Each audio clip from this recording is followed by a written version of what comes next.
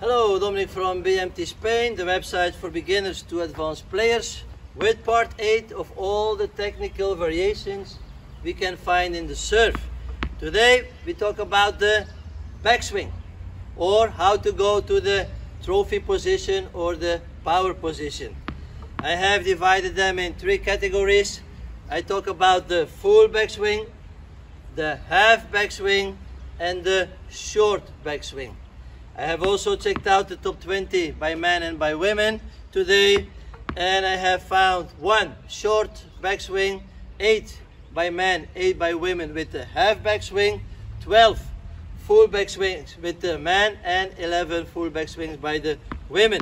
So the short backswing is actually going from your position straight into the power position. This is by the women Azarenka. I will show you the clip so you can see what I mean going straight to that trophy.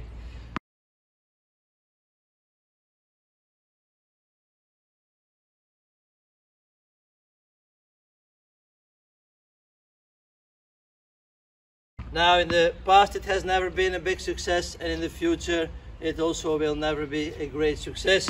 Now the half backswing we see more and more and that's why we have already 8 and 8 and we have variations like for instance, half backswing is going up between this and this area. You're not going completely to the back. So we have players like Berrettini, who is going up with a straight arm here, almost in front of him, and with a vertical racket. And from there he goes into that trophy position, where we have Sam Querrey. He's not top 20, but a great server. He's going down, and here he starts to bend and go to that trophy. Then we have service like Monfils, who are going up with a straight arm and a closed racket, and then going to trophy. Uh, number one was Jankovic, also with that straight arm, but with that vertical racket going. Then we have more the style of Roddick, where you go with that bended arm, and you go into that trophy position. Some also call this the short backswing. Well, uh, the others are going from here. They're not going first up here and then they go. So for me, it's already a half backswing. Then we have uh, more the Murray style, which is going back with a straight arm, but keeps, doesn't go completely to the back. He goes here and the racket way on the right side, going into the trophy. And then another one is Djokovic, which is bringing first the elbow in position. So he goes, he brings the elbow first in position, and then he starts to go to the power or trophy position. These were the variations I have found in the half backswing.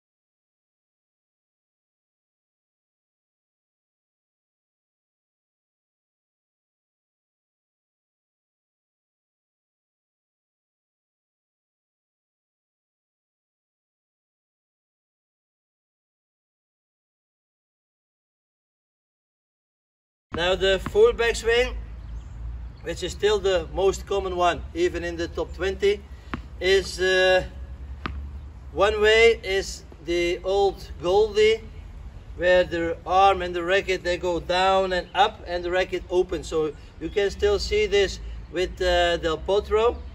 You can still see this with Wawrinka. These are the two most common with the old Goldie. We have also Federer, who's going back but with the racket closed and then going into trophy. We have a little bit the same style with Karlovic, but Karlovic doesn't go up. Karlovic starts to bend from that position. Yeah, he starts to go bent or going to trophy in that position. Also by the women, We have Hercog, whose but the racket is more open, but uh, from here she starts to go to that trophy position. Then we have others more like uh, Dominic Thiem, who are going backwards, but the racket also vertical, staying more on the right side. And another style is more Nadal. Nadal isn't going down, Nadal is more going straight backwards. So that's another variation we can find.